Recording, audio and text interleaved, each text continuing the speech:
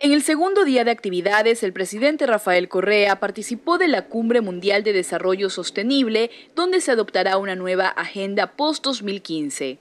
Allí hizo un llamado para que el imperativo moral y político de la agenda sea la erradicación de la pobreza en sus múltiples dimensiones. Además, felicitó la inclusión de objetivos que contribuyen al cuidado del planeta. Nos complace sobremanera que los objetivos de desarrollo sostenible tengan muy presente el cuidado del planeta.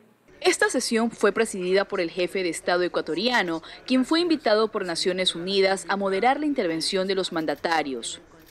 Posteriormente mantuvo reuniones bilaterales con los presidentes de Senegal, Barbados e Irán.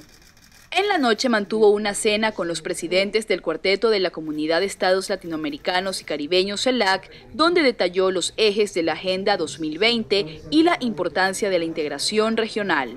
Juntos, con la fuerza de la integración, con nuestra unidad, con nuestras sinergias, lograr mejores días, el buen vivir para nuestros pueblos, con prosperidad, justicia, soberanía y dignidad. Este lunes 28 de septiembre, el presidente Correa participará del 70 periodo ordinario de sesiones de la Asamblea General de las Naciones Unidas.